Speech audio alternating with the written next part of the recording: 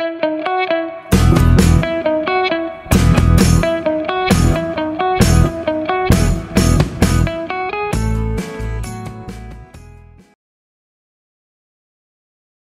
நேர்களே. இன்னைக்கு நாம பார்க்க போகிற ஒரு பரபரப்பான செய்தி என்ன அப்படின்னு பார்த்தோம்னா தமிழகத்தில் முதலமைச்சர் மு க ஸ்டாலின் அவர்களுடைய ஒவ்வொரு அதிரடி நடவடிக்கைகளுமே மக்கள் மத்தியில் மிகப்பெரிய அளவில் பேசப்பட்டுக்கிட்டு இருக்கு. கடந்த சில காலங்களாகவே இவர் இருக்கிற ஒவ்வொரு நடவடிக்கைகளுமே மக்கள் மத்தியில் மிகப்பெரிய வரவேற்புகளையும் பெற்றுக்கிட்டு இருக்குது ஒரு திட்டத்தை செயல்படுத்துறது மட்டும் இல்லாமல் அந்த திட்டத்தை நேரில் போய் ஆய்வு செஞ்சு முறையாக அது மக்களுக்கு போய் சேருதா இல்லையாங்கிறத தொடர்ந்து தன்னுடைய ஆய்வுகள் மூலமாகவும் பரிசோதனைகள் மூலமாகவும் தொடர்ந்து நடத்தி மக்கள் மத்தியில் ஒரு நல்ல முதல்வராக தன்னை நிரூபிச்சுக்கிட்டே தான் இருக்கார் முதலமைச்சர் ஸ்டாலின் அவர்கள். இந்த ஒரு சூழலில் தான் ஸ்டாலின் அவர்களை பற்றி ஒரு அவதூறான கருத்தை தமிழக எதிர்க்கட்சி தலைவர் எடப்பாடி பழனிசாமி அவர்கள் தெரிவிச்சிருக்காரு. அந்த விஷயம்தான் இப்போ சமூக வலைதளங்களில் மிகவும் வைரலாக பரவிக்கிட்டு இருக்கு. கூடிய விரைவில் அம்மா உணவகம் மூடப்படுவதற்கான நிறைய முயற்சிகள் திமுக அரசு சார்பாக எடுக்கப்படுகிறது அப்படிங்கிறது தான் இன்றைக்கி மிகப்பெரிய ஹாட் டாப்பிக்காக தமிழகத்தில் பரவிக்கிட்டு இருக்கு. இது சம்மந்தப்பட்ட ஒரு சில தகவல்களை இந்த வீடியோவில் நம்ம முழுசாக பார்த்து தெரிஞ்சுக்கலாம். அதுக்கு முன்னால் நம்ம சேனலை ஃபஸ்ட்டு சப்ஸ்கிரைப் பண்ணிக்கோங்க.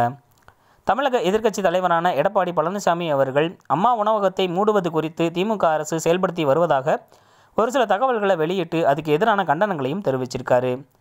அம்மா உணவகம் புரட்சித் தலைவி மற்றும் இதய தெய்வம் அப்படின்னு அதிமுகவினரால் அழைக்கப்பட்ட தமிழகத்தின் இரும்பு மணியான ஜெயலலிதா அவர்களுடைய அந்த பெயரில் ஆரம்பிக்கப்பட்டது தான் இந்த அம்மா உணவகம். குறைந்த விலையில் மக்கள் தங்களுடைய பசி ஆற்றுவதற்காக உணவகமானது ஆரம்பிக்கப்பட்டது. மிக மிக குறைந்த விலையில் அம்மா உணவகத்தில் நிறைய உணவுகள் வழங்கப்பட்டது. காலை மதியம் இரவு மூன்று நேரங்களிலுமே மிக குறைந்த அளவில் உணவானது மக்களுக்கு வழங்கப்பட்டது. அடித்தட்டு மக்களும் சாலையோரங்களில் வசிக்கிற பலரும் இந்த அம்மா உணவகத்தை பயன்படுத்திக்கிட்டாங்க.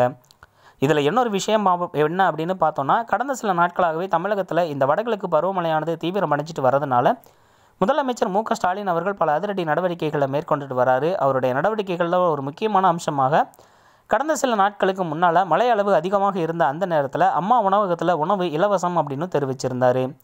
ஏற்கனவே மிக மிக குறைந்த விலையில் உணவகம் காணது செயல்பட்டு வந்திருந்த இந்த ஒரு சூழலில் அம்மா உணவகத்தை மக்களுக்கு இலவசமாக உணவு தர்ற ஒரு உதவகமாக மாற்றினார் மழை நின்ற பிறகு மீண்டும் அந்த விஷயங்களை வெளியே எடுத்துக்கப்பட்டது. அது மட்டும் இல்லாமல் உணவுகளும் நிறுத்தப்பட்டுச்சு அப்படிங்கிற ஒரு தகவல் பொதுமக்களிடையே எழுந்தது.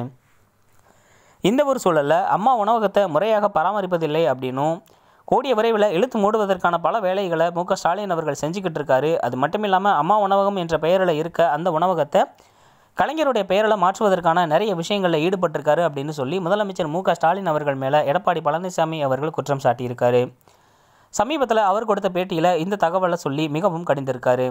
அதில் அவர் என்ன சொல்லியிருக்காரு அப்படின்னா ஏழை எளிய மக்கள் மிகவும் குறைந்த விலையில் தங்களுக்கான உணவை எடுத்துக்கிறதுக்காக தான் புரட்சி தலைவி அம்மா அவர்களால் இந்த திட்டமானது கொண்டு வரப்பட்டுச்சு. இதனால் ஏழை மக்கள் தங்கள் பக பசியாடுற விதமாக நிறைய விஷயங்கள் மூலமாக இந்த விஷயத்தை எடுத்துக்கிறாங்க.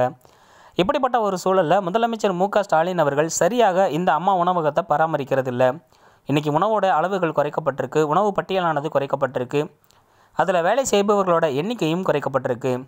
இப்படி ஆகும்போது கூடிய விரைவில் இந்த அம்மா உணவகத்தை இழுத்து மூட போகிறாங்களா இல்லையா அப்படின்னு சொல்லி பல கருத்துக்களை எழுப்பியிருக்காரு.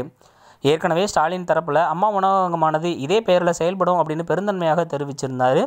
இருந்தாலும் எடப்பாடி அவர்கள் தொடர்ந்து குடைச்சல் கொடுத்தாரு அப்படின்னு சொன்னால் கண்டிப்பாக அது கலைஞர் உணவகமாக மாறுவதற்கான வாய்ப்புகள் அதிகமாக இருக்குது இதுக்கு பலரும் என்ன கருத்துக்கள் தெரிவிக்கிறாங்க அப்படின்னா அது யாருடைய ஆட்சியிலையும் இருந்துட்டு போகுது யாருடைய பெயரும் அந்த உணவகத்துக்கு இருந்துட்டு போகுது. அதனால மக்கள் நாலு பேர் வந்து பசியாடுறாங்கன்னா அது எந்த பெயராலையும் இருக்கலாம் அப்படின்னு சொல்லி பலரும் தங்களுடைய கருத்துக்களை தெரிவிச்சிட்டு வராங்க. உங்களுடைய கருத்துக்களையும் மறக்காமல் கமெண்ட் செக்ஷனில் வந்து பதிவு செய்யுங்க. நன்றி வணக்கம்.